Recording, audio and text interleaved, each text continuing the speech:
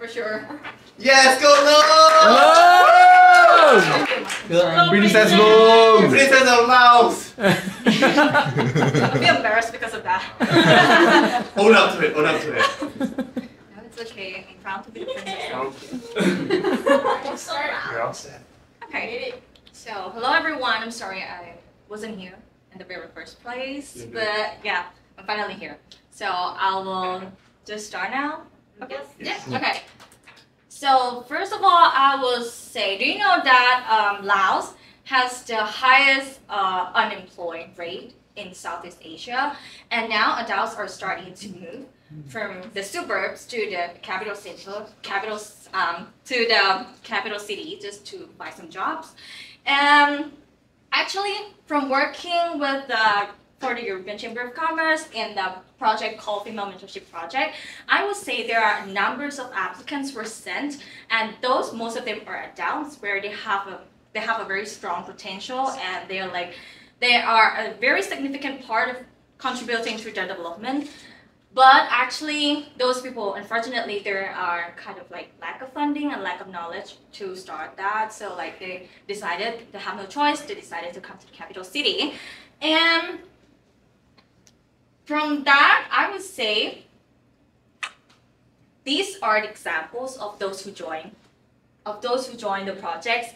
These products are different products, and these products are 100% handmade, produced by people with disabilities and specific ethnic groups, which the two owners of these started from zero, from nothing, and now they were invited to the roadshow in Europe or other parts of the countries across the world. And these, I would say, these are successful stories from joining the project. These people have created jobs for local people and people with disabilities. I would say uh, instead of, that's why I wanted to create something that's called um, Business Support Center for All.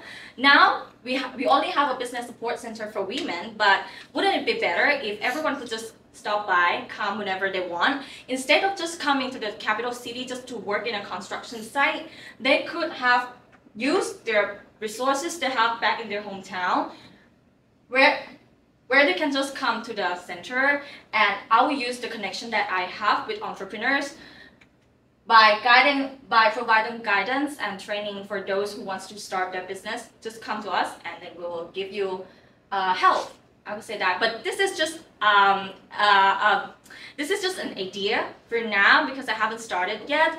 So I'm I just want to share it with you guys today, and I'm not asking for anything from you guys. I just want to share you with uh, what we're having now in Laos, the situation, something like that. But I may ask for your help in the future.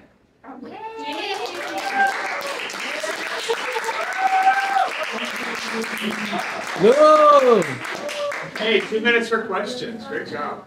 So Yes. do you plan, do, do um, do you plan to have like, uh, a collaboration with other Asian countries? Like also like if, if we have a business person, is it like possible to collaborate with, um, Yes, that would be great. Actually, you know what? The female mentorship project was was um, um, the idea of that was to um, send the mentee who applies for that to Vietnam and other c- countries in Asia, in ASEAN, to like to pair them with the mentors around, not in Vientiane, but unfortunately COVID hit, so that we have to do it Hmm. another way.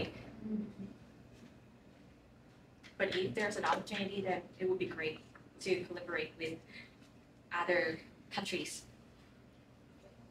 Good question. You're still good. That's good, yeah. Let's Yeah. let's explore this. Oh. Embarrassing.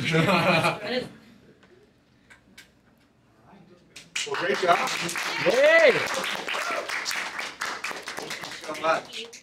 Subscribe ke bern.id. Dan jangan lupa untuk mengunduh Pranala App. Untuk video terbaru, kamu bisa klik video di kanan atas. Dan untuk video rekomendasi, bisa klik video di kanan bawah.